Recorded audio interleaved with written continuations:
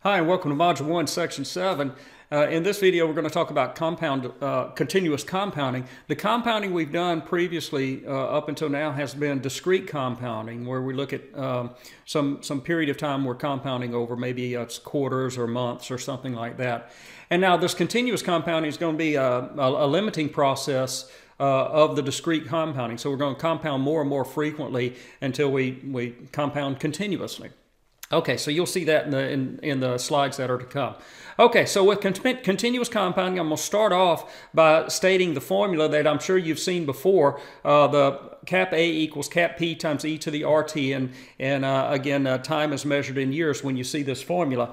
We actuaries don't use the R as the, uh, uh, the rate, uh, the continuous compounding rate. We use something called a delta. We use the lowercase Greek letter delta. And so uh, substituting that in for R and substituting a 1 for cap P, we'll get the accumulation function uh, for continuous compounding is e raised to the delta t, where delta is that continuously compounded interest rate, and time is measured in years. Okay, uh, for us, what we call delta is the force of interest. I put in the word constant here. It's technically it is a constant, uh, and I'll come. We'll talk about general cases later on in another uh, in another video. But for right now, the delta is a uh, is a constant, but you won't see the word generally. You won't see the word constant, but it is a constant uh, force of interest. Okay, so for now, uh, now I want to move on and, and look at deriving the the expression e to the delta t that that uh, the expression that, that defines the accumulation function, a of t.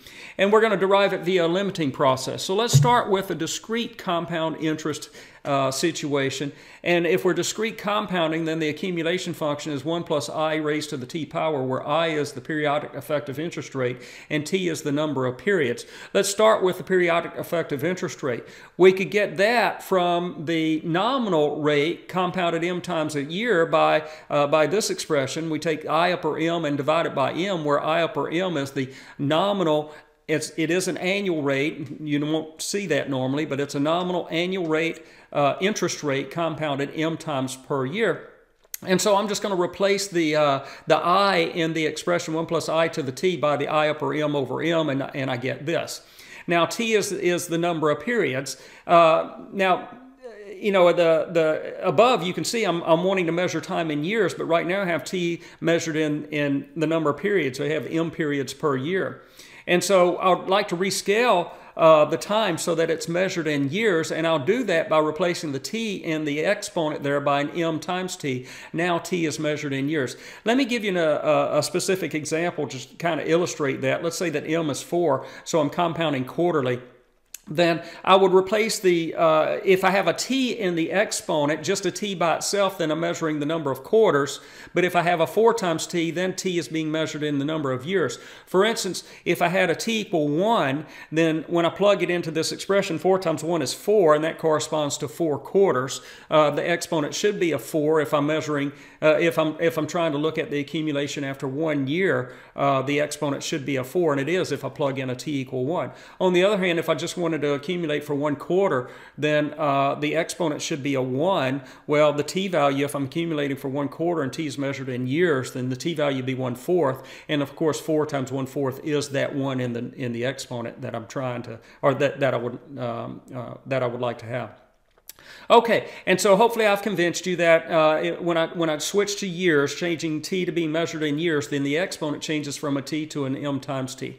So now I want to allow m to increase without bound. That's what compounding more and more frequently would, would mean. m is the number of compounding periods per year, so I want m to get bigger and bigger and bigger with without bound. The first step that I want to do is, is to uh, consider, well, what happens to i upper m as m goes to infinity? Well, that's just some number that I'm going to call delta delta, and it's actually the same delta that I've already used, and it's thought of as the continuously compounded interest rate. So again, I upper M is the nominal annual rate compounded m times per year. So if you plug in an infinity, you're compounding continuously, and that's what we're going to call delta. Uh, you can think of delta as the continuously compounded interest rate. So at this point, I'm just going to replace the I upper m by a delta in the expression that's defining the A of t, and I get I, I get 1 plus delta over m raised to the m times t. Now there's a fact from calculus that we're going to use, uh, and, and it's this, that if you look at the expression 1 plus delta over m raised to the m power as m gets bigger and bigger and bigger, you see delta over m gets closer and closer and closer to zero. 1 plus that then is approaching 1 from, from the right. But then, so you're taking numbers that are getting closer to 1, closer and closer to 1, and you're raising them to higher and higher powers. And it's not clear what that, um, you know, it was not clear if that actually um, approaches a single value or not. But from calculus, we know it does approach a single value when you take numbers that are getting closer and closer and closer to 1 and you raise them to higher and higher and higher powers in this way. It's not always, but in this particular manner, it, when that process is done in this way, that, that's shown on the left-hand side or, or just after the word fact, then um, that limit will, will be equal to e to the delta. And so on the uh, expression that's defining a of t, I have uh, an, an exponent of m times t. So I'm going to think of that as 1 plus delta over m raised to the m, and then that raised to the t. And as, as m goes to infinity, what's in brackets converges to an e to the delta, and so the whole thing converges to an e to the delta times t. And so then I could replace then uh, the or the the fact now is that um, you know adding an exponent, uh, uh, adding a t in, in both sides on the exponent there, I get this, and then uh, that that does it. We've we've got it then now as m goes to infinity as we compound more and more and more frequently, then the accumulation function um, in the limit, the accumulation function would just be e to the uh, delta times t. Again, t being measured in years. So let me clean it, clean up the uh, the slide a little bit. I've got delta being the constant. Uh, again, constant won't normally be said. Delta being the force of interest, then A of t is going to be uh, e to the delta times t. Now I'd like to talk about, uh, you know, V notation. Can we use V notation in this situation? Remember, we can use V notation as the periodic accumulation factor from uh, the one year or, or one period uh, from time k to k plus one is is uh, doesn't depend on k. Now in this case, I have the periodic accumulation factor, but I actually know what the period is because I'm measuring the time in years. So this would actually be the annual accumulation factor uh, from k to k plus 1. And I know from before that this is the ratio of uh, the accumulation function at time k plus 1 to the accumulation function at time k.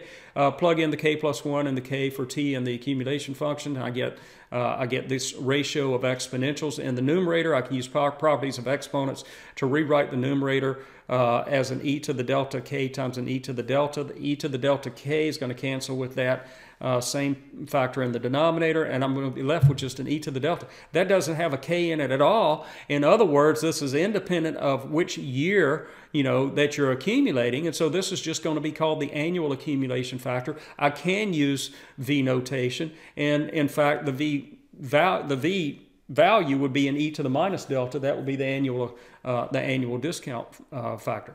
So anytime you're compounding, whether you're compounding interest or compounding uh, uh, discount in the discrete framework or now here in the continuous framework, compounding is when we use uh, V notation.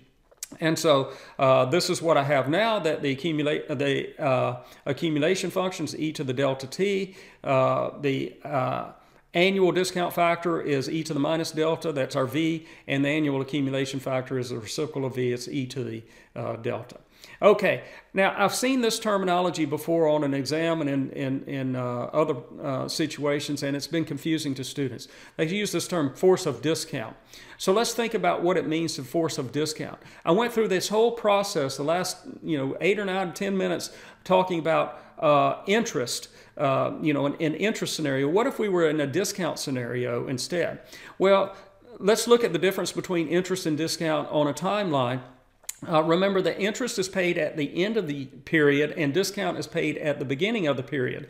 And so, what is continuous compounding? Well, it's taking compounding more and more frequently, which means the length of the period between the beginning of the period and the end of the period gets smaller and smaller and smaller.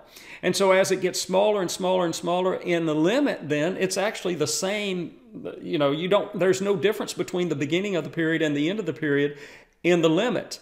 And so uh, my, my point here is that the force of discount is exactly the same as, as the force of interest. So that's kind of a, a geometric way of showing you that those two things are the same. Let me go through an algebraic um, and kind of a calculus um, reason also.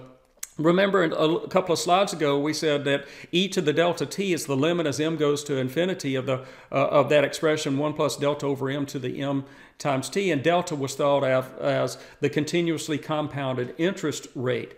Well, uh, the fact of the matter is there, there's another fact that uh, you know why the, the expression I'm taking the limit of here what that's a compound interest the discrete compound interest accumulation function. So what if I took a discrete compound discount accumulation function, it would look something like this, where delta is the, uh, uh, the d upper infinity, the rate of discount compounded continuously. And so the fact is that those two are going to be the, you're still going to get the e to the delta t when you take the limit as m goes to infinity and you're using the uh, uh, discrete compound discount accumulation function. Uh, that's the expression that I'm taking the limit of there. So, you, so you're going to get the same whether you're compounding interest or discount. And so the point here, my final comment here is that uh, delta, when you see a delta, it's the force of interest, or it could be called the force of discount. It doesn't matter. When you see that delta, the accumulation function is going to be uh, A of t equals e to the delta t, where t is measured in years. The, the uh, ADF, the uh, annual discount factor, is e to the minus delta. That's our V notation, and the annual accumulation factor is v to the minus 1, or e to the, uh, e to the delta. Okay, so uh, that does it for uh, continuous compounding. I will see you in the next video.